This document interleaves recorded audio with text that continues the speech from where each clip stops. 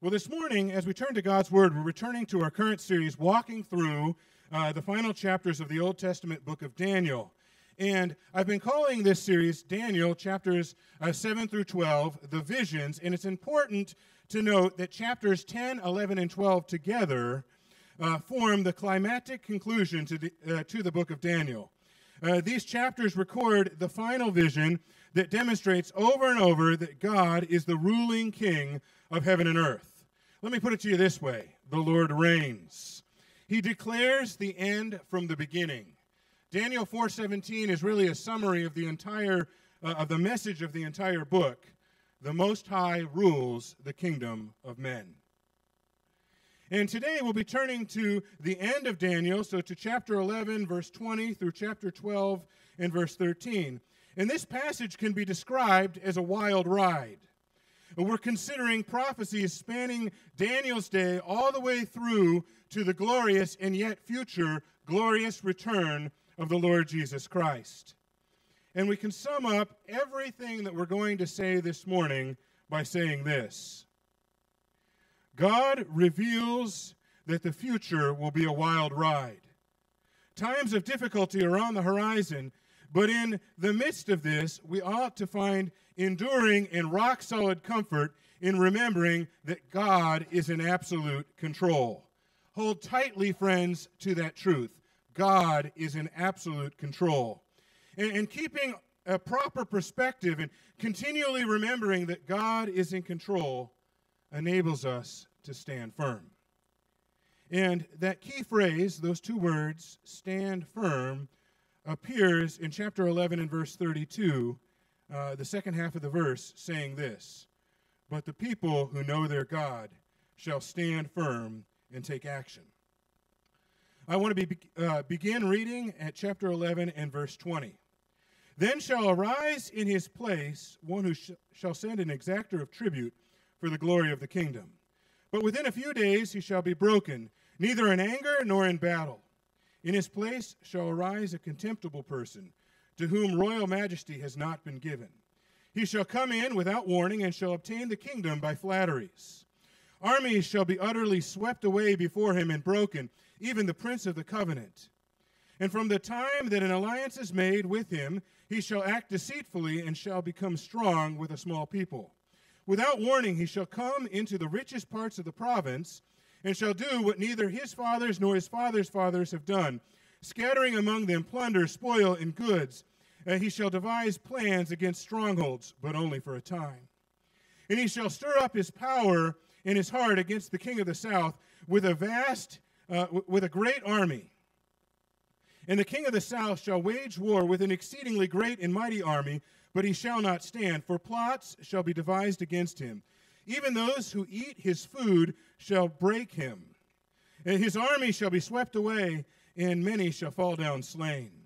And as for the two kings, their hearts shall be bent on uh, doing evil. They shall speak lies at the same table, but to no avail. For the end is yet to be at the time appointed. And he shall return to his land with great wealth, but his heart shall be set on the holy co- uh, set against the holy covenant and he shall work his will and return to his own land. And at, that, at the time appointed, he shall return and come into the south, uh, but it shall not be this time as it was before. For ships of Kittim uh, shall come against him. And he shall be afraid and withdraw and turn back and be enraged and take action against the holy covenant. He shall turn back and pay attention to those who forsake the holy covenant covenant. Forces from him shall appear and profane the temple and fortress. And they shall take away the regular burnt offering, and they shall set up an abomination that makes desolate. And he shall seduce with flattery those who violate the covenant. But the people who know their God shall stand firm and take action. And the wise among the people shall make many understand, though for some days they shall stumble by sword and flame, and by captivity and plunder. When they stumble, they shall receive a little help, and many shall join themselves to them with flattery. And some of the wise shall stumble, uh, so that they may be refined, purified, and made white until the time of the end. For it still awaits the appointed time. Like I said, this passage could be described as a wild ride, And this first section contains prophecies concerning the oppression of God's people during the absolutely wicked rule of a man by the name of Antiochus IV Epiphanes. This is a troubling picture, and Bible scholars agree that it describes a king of the Seleucid Empire, which was one of the empires that came out of the empire of Alexander the Great. And this guy, Antiochus, uh, called himself Epiphanes, or God manifest. Can you see the problem? This guy was a monster and a madman. And some made a play on words. Remember, he called himself Epiphanes, but they, but they called him Epimanes, meaning madman, which describes well his wicked rule. Uh, his rule was incomprehensibly wicked between 175 and 164 BC and it included tremendously brutal persecution of God's people. You might remember the little horn of Daniel chapter 8 prophesying Antiochus Epiphanes as well. But a quick review, going back a couple weeks to the first half of the chapter, chapter 11 of the book of Daniel, uh, verses 1 through 19, uh, and just reviewing a little bit is helpful here. The beginning of the chapter prophesied in incredible detail. It's actually been described and well described as pre written history. And it described a back and forth war that would uh, come between the king of the north and the king of the south. And, and, there'll be a map behind me. I don't know if I'll use the, well, I guess I can use the pointer here. But you see that Syria, and that was the kingdom of the north up here, and then Egypt, that was the kingdom of the south. And what's in the middle?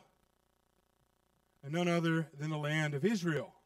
Uh, so Israel was in the middle uh, in the middle of this war that could be described as a tennis match, back and forth, up and down, a seesaw. The king of the north, then the king of the south, coming and going. Uh, this war, and of course, like I said, Israel and God's people were in the middle of this up and down and back and forth prolonged struggle between rival empires. And then Antiochus IV Epiphanes came to power, and he was a king of the north. That means he was from Syria. And so, in the near term, this prophetic picture that I just read predicts the horrors of his evil reign, but it also foreshadows the Antichrist and his rule during the end times, something that we're going to focus on more specifically in verses 36 to 45. But here, just a few things, embrace yourself. This isn't like happy discussion. This isn't a happy topic. But just hear a few of the things that Antiochus did. He made it his personal ambition to completely destroy the Jewish faith before the coming of the Messiah. And obviously, Satan himself was involved in this spiritual battle to destroy the line of the Messiah. Antiochus' wicked, Antiochus's wicked actions were a direct attack against God Himself. This was a time of incredible suffering for God's people. He entered the temple, did away with the daily sacrifice, dedicated the temple to the Greek god Zeus, and sacrificed pigs on the temple altar. Do you remember the Levitical law in kosher? Pigs were the most unclean animal. So just brace yourself and understand kind of what he did. But worse than that, he made it a capital offense, that means death, to have a copy of the Torah, the first five books of the Old Testament. He made it a capital offense to be circumcised or to celebrate any of the Jewish festivals. And we know this from the books of Maccabees that fit historically between the last book of our Old Testament and the coming of Christ in the beginning of the Gospels. Uh, there'll be a map behind me. You'll see again the Middle East. Uh, that was where all of this happened. And then there'll be a map of the temple. Uh, and this was actually Herod's temple, so it became even a little bit nicer uh, hundreds of years after Antiochus because Herod expanded it. But this is Jerusalem and the temple complex. And now I want to show a picture of Herod's temple, which again was a, a, a few years later uh, but it was built on the same foundation. Kind of imagine him going in here and doing the things that I just said that he did. And just let that jar you for a minute. And you say, Well, I'm glad that that doesn't happen today. Wrong. There are places in the world today where having a Bible could cost you imprisonment or even your life. Where gathering together with uh, fellow Christians is very, very dangerous. And anyway, this time of persecution was absolutely awful, and blood flowed in Jerusalem. This man's wickedness is just about incomprehensible. History records him killing 80,000 people around Jerusalem and selling tens of thousands of slaves. Verses 30 and 31 For ships of Kittim shall come against him, and he shall be afraid and withdraw, and shall turn back and be enraged and take action against the holy covenant. He shall turn back and pay, atten- uh, and pay attention to those who forsake the holy covenant. Forces from him shall appear and profane the temple and fortress. And he shall take away the regular burnt offering. Did you catch that? Uh, stopping offering at the temple. And they shall set up the abomination that makes desolate. Now, it is interesting because at Daniel's time, the temple was a pile of rubble.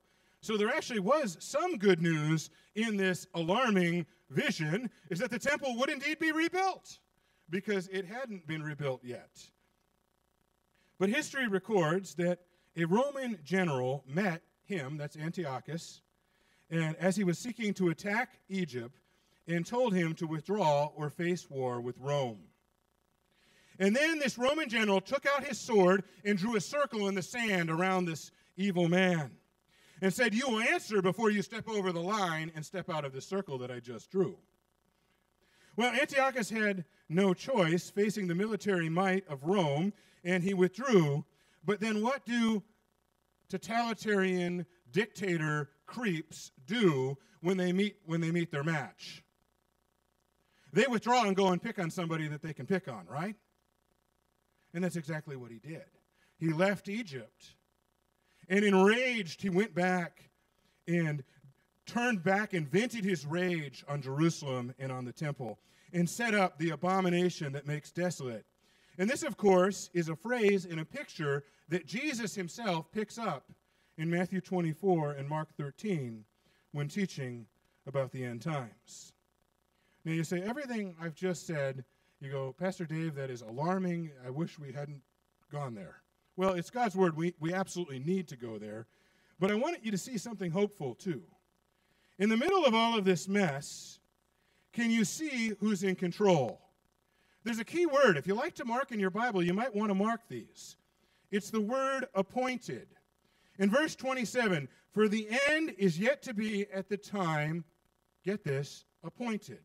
Or verse 29, the time appointed. In verse 35, for it still awaits the appointed time. This tells us something vitally important.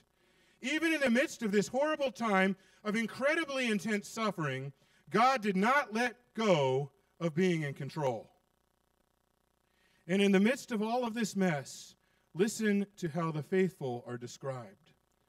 But the people who know their God shall stand firm and take action verse 32.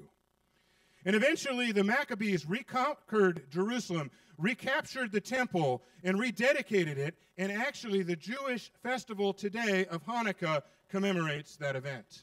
The Maccabees, a man by the name of Judas Maccabeus, he was known as the Hammer, a brave warrior who recaptured Jerusalem.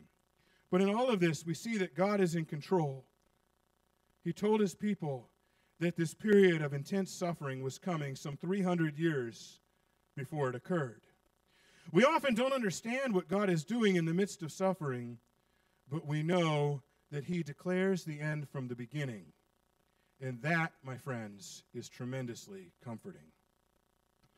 Well, now I want to turn to prophecies pointing to the future beyond Antiochus Epiphanes to the wicked rule of the Antichrist in the end times. And, and these verses are difficult to interpret, and not all Christians agree uh, about how to understand them, so it's important to be charitable. Uh, that said, we mustn't skip this passage of God's Word because this is God's Word, and we need all of God's Word. Now, 2 Timothy 3.16 says this, All Scripture, did you catch that? Not some, all Scripture is breathed out by God and profitable for teaching, for reproof, for correction and for training in righteousness. So I'm going to turn to verses 36 to 45. And the king shall do as he wills, and he shall exalt himself and magnify him above every God, and shall speak astonishing things against the God of gods. He shall prosper till the indignation is accomplished, for what is decreed shall be done. He shall pay no attention to the gods of his fathers or to the one beloved by women. He shall not pay attention to any other God, for he shall magnify himself above all, and he shall honor the God of fortresses instead of these. A God whom his fathers did not know, he shall honor with gold and silver, with precious uh, stones and costly gifts. He shall deal with the strongest fortresses with the help of a foreign God. Those who acknowledge him, uh, th- um, those who acknowledge him, he shall load with honor, and he shall make them rulers over many, and shall divide the land for a price. At the time of the end, the king of uh, the south shall attack him but the king of the north shall rush upon him like a whirlwind, like a whirlwind, with chariots and horsemen and with many ships. And he shall come into the countries and shall overflow and pass through. He shall come into the glorious land, and tens of thousands shall fall. But these shall be delivered out of his hand Edom and Moab, and the main part of the Ammonites. He shall stretch out his hand against the countries, and the land of Egypt shall not escape. He shall become ruler of, um, he shall become ruler of the treasures of gold and silver and all the precious things of Egypt, and the Libyans and the Cushites shall follow in his train.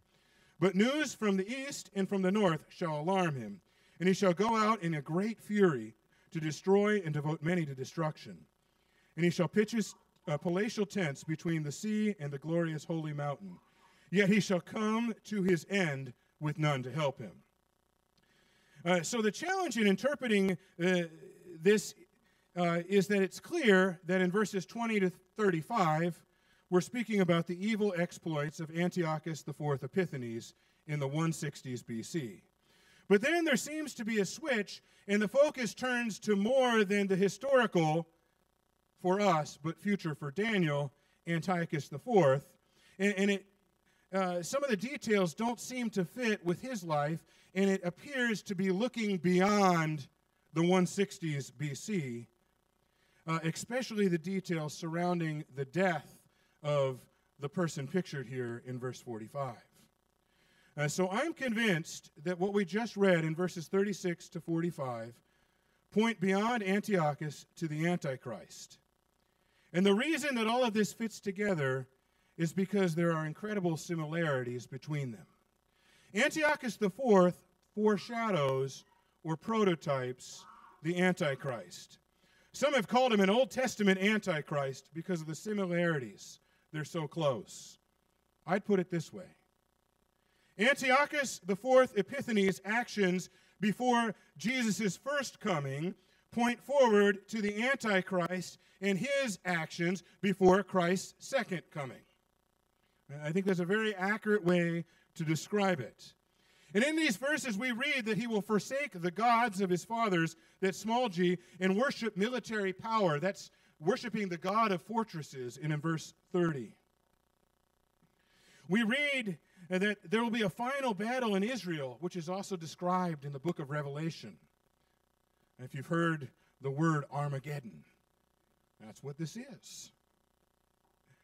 And now, when we think about it, the pattern of ruthless, world dictators setting themselves up against God and seeking to destroy biblical faith is nothing new.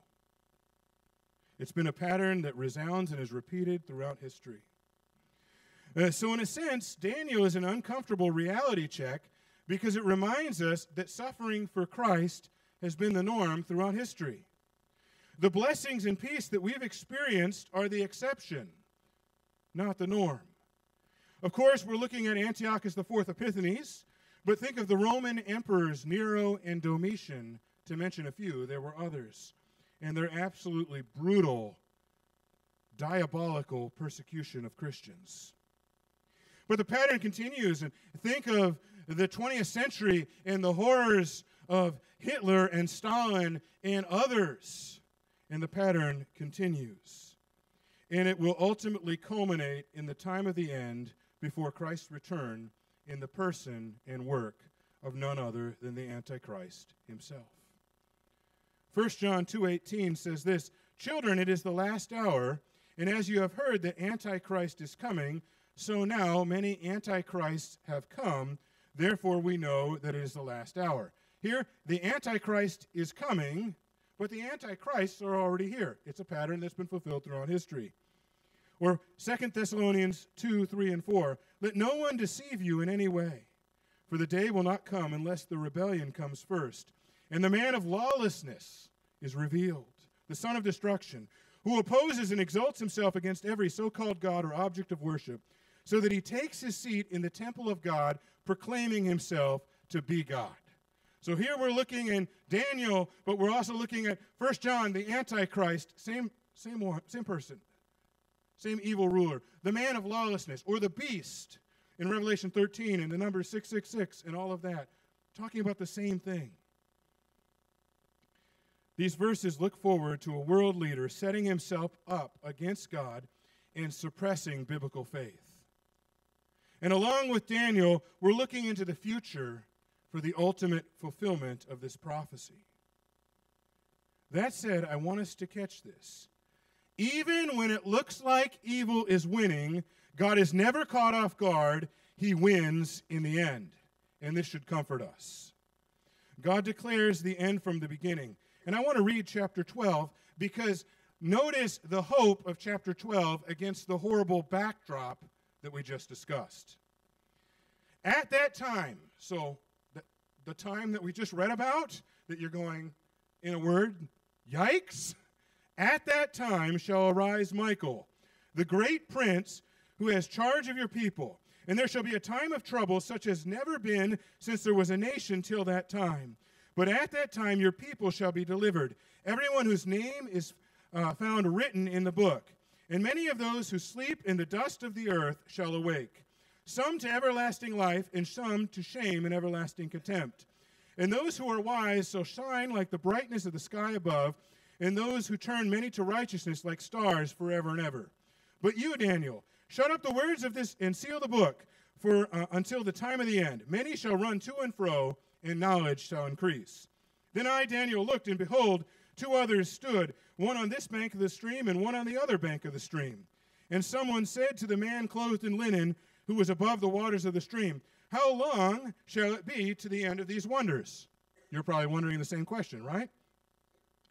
And I heard the man clothed in linen who was above the waters of the stream. He raised his right hand and his left hand toward heaven and swore by him who lives forever that it would be for a time, times, and half a time. And that when the shattering of the holy people comes to an end, all these things would be finished. I heard, but I did not understand. Then I said, Oh, my Lord, what shall be the outcome of these things? He said, Go your way, Daniel, for the words are shut up and sealed until the time of the end.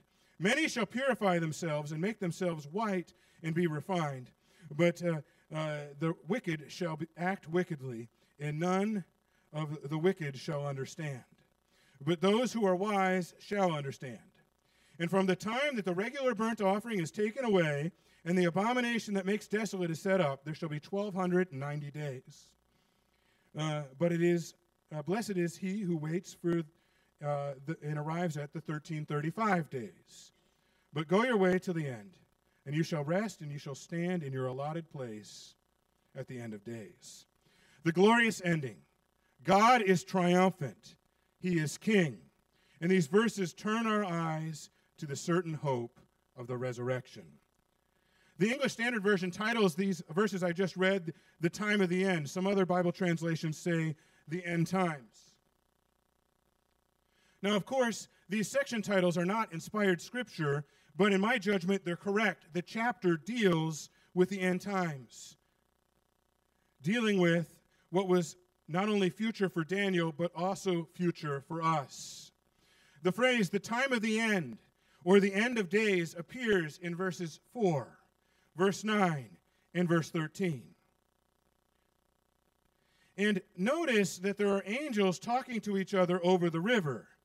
And this looks back to the beginning of the vision in chapter 10. I won't turn there now this, for the sake of time, but this is the same picture that we saw at the beginning of the vision in chapter 10.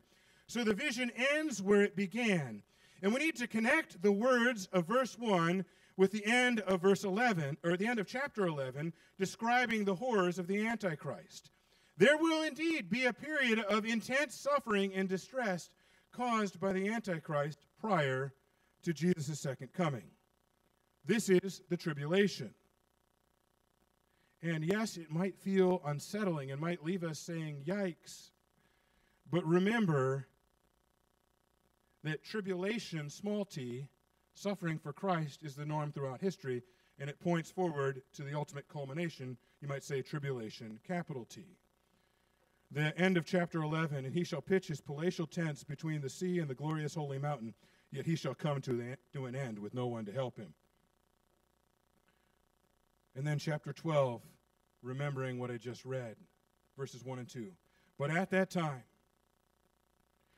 your people shall be delivered, everyone whose name is found written in the book. In Revelation, that's described as the Lamb's book of life. And many of those who sleep in the dust of the earth shall awake, some to everlasting life, and some to shame and everlasting contempt. And then the very end of Daniel. But go your way to the end, Daniel, and you shall rest and shall stand in your allotted place at the end of days. Notice the assurance to Daniel as his head is spinning. The angel assures him. But here, see, the glory of the resurrection provides incredible hope. The righteous and the wicked are raised. Jesus teaches about this in John 5 20 8 and 29.